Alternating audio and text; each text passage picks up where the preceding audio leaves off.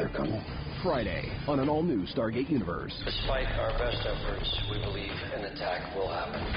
We have to fix the ship. We're going to fall short. Destiny won't make it across the void. The ship's going to be taken.